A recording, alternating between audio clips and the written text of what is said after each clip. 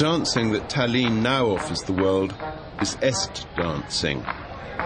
Every year, thousands of hideously dressed young or youngish ambassadors of British manhood visit Tallinn to enjoy, an approximate word, what are called stagger nights. To get legless, get lurching, get loud, get laid, should they be capable, and get a sexually transmitted disease to take home to Blighty.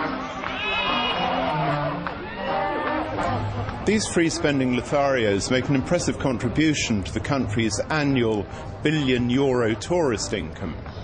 So they're tolerated. Of course they are. So they're paid dates, mostly itinerant operatives from Russia, and their paid dates kindly guardians.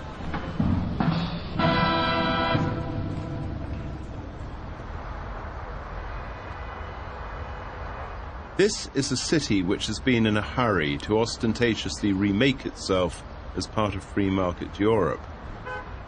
The extent and the sheer volume of Tallinn's new commercial building projects are the outward signs of this headlong rush.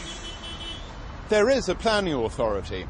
Its four A's policy assent, agree, accept, affirm is to say yes to anything. The triumph of laissez-faire and the subjugation of dirigism are creating a city which, unlike the splendid old town and the meticulously disposed bourgeois suburbs, is out of control. A kind of developer's Klondike, the Wild East. The fact that certain individual buildings are distinguished is not the point. It's the cumulative free-for-all that is so disheartening, so similar to so much of Britain. Incoherence rules. Sites, materials, styles, scales, they all collide. Buildings shout each other down in a cacophony of boastful machismo.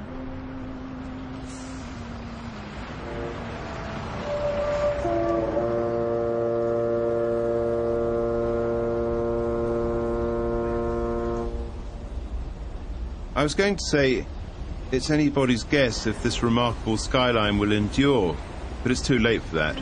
We know it won't. No city has the audacity to turn back the clock, especially when yesterday was so terrible. The last time I was on Baltic Ferry 20 years ago, a courteous, smiling fellow passenger gave my then six-year-old twin daughters the contents of his wallet. And then he walked away, showing a surprisingly good turn of speed and the exaggeratedly poised equilibrium of the very drunk.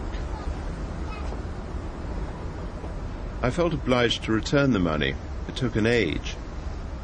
How do you distinguish one slumped, blonde, courteous, smiling, oblivion-seeking giant with the blood alcohol level 20 times over the driving limit from the next slumped, blonde, courteous, smiling, oblivion-seeking...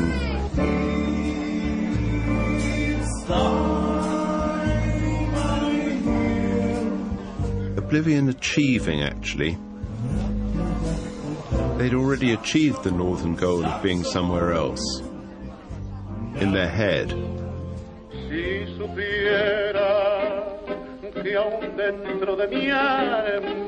Somewhere else, and some time else too. In a perpetual 1920s. In Recoleta in Buenos Aires. In a bordello where Carlos Gardel is singing forever. Helsinki, home of the tango. Second home.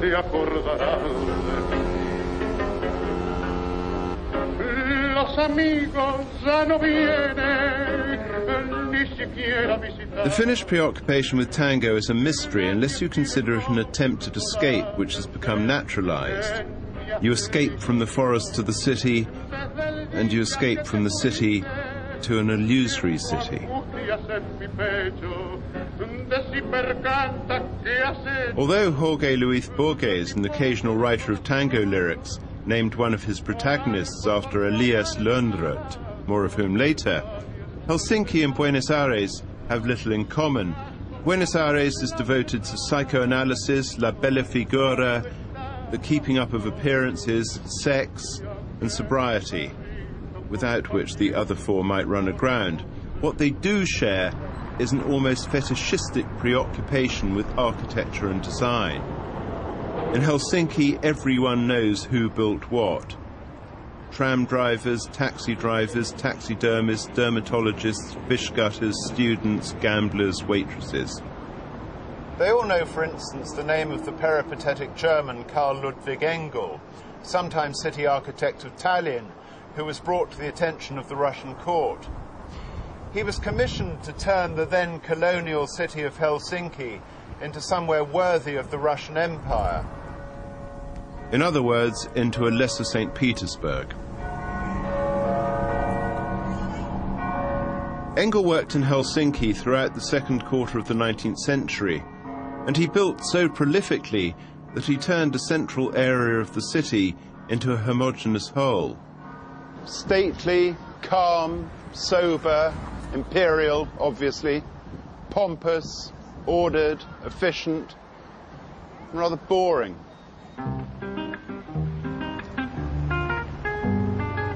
There's none of the flashy charlatanry and theatrical genius of John Nash in London, none of the gravity of Hamilton and Playfair in Edinburgh, none of the melancholy of Leo von Klenze at the Valhalla on the Danube, and of course none of the horizontal bombast, let alone sheer size of St. Petersburg itself. Finns take inordinate pride, a small nation's pride, in the fact that the architect Alvar Aalto achieved such international recognition that, Sibelius apart, he is perhaps the best known Finnish artist of the 20th century. Aalto's reputation is less comprehensible to me than his compatriots' tango mania or their taste for eau de vie flavoured with tar. His architecture was the architecture of false modesty. His buildings shout about their sensitivity. They boast how humane they are. They don't leave me cold. Far from it. They rather infuriate me with their coy just off 90 degree angles, their tweely audacious detailing, their insipid contrariness, their precocious undulations, their whimsical asymmetries, their precious tastefulness, their good manners that keep reminding you of their good manners.